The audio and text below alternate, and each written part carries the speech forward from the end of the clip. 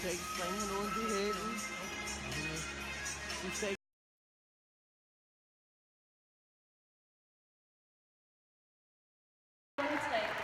Tillykke.